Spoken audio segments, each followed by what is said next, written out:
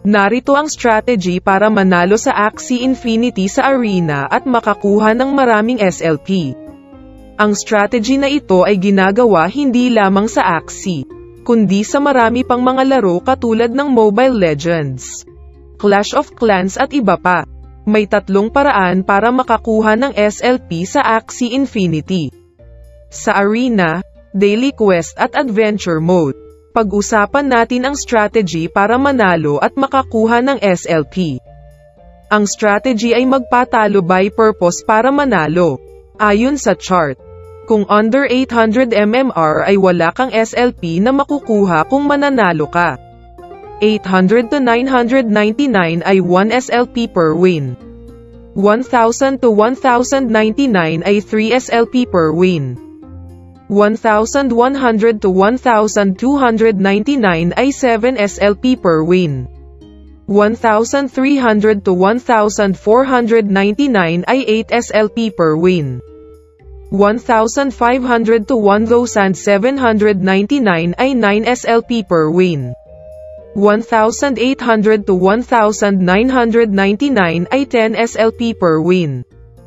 2,000 to 2,199 ay 11 SLP per win.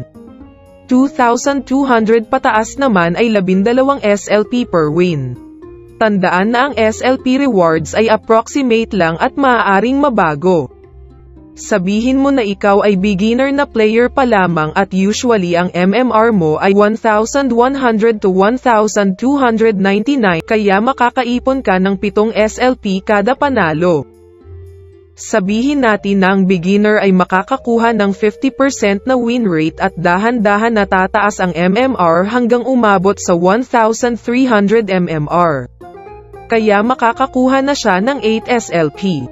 Dahil na din mataas ang MMR ay ikaw na beginner ay for sure matatalo na sa arena dahil highly skilled players na din ang mga nakakalaban mo at ang axis din nila ay mas malalakas ang beginner ay makakakuha ng 50% average win rate sa 1,300 to 1,499 range ng MMR.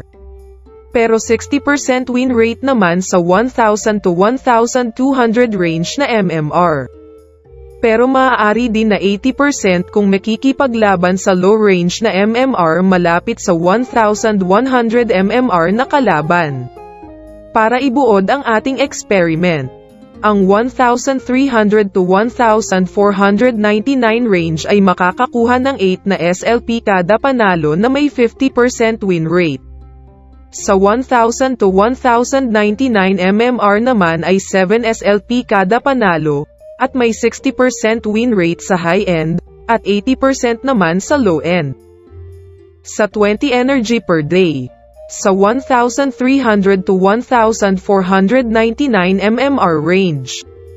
Kung mananalo ka ng 10 beses ay sigurado na ang 80 SLP mo. Sa 1,100 to 1,299 range naman. Kung mananalo ka ng 12 na beses ay 84 SLP din ang makukuha mo. At kung mananalo ka ng 16 na beses, 112 na SLP ang makukuha mo which is additional 42 additional SLP per day.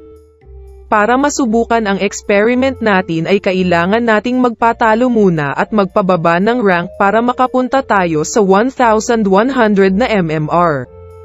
Tandaan nyo na ang pagpapatalo ay dapat gawin lamang kung ang energy ay ubos na.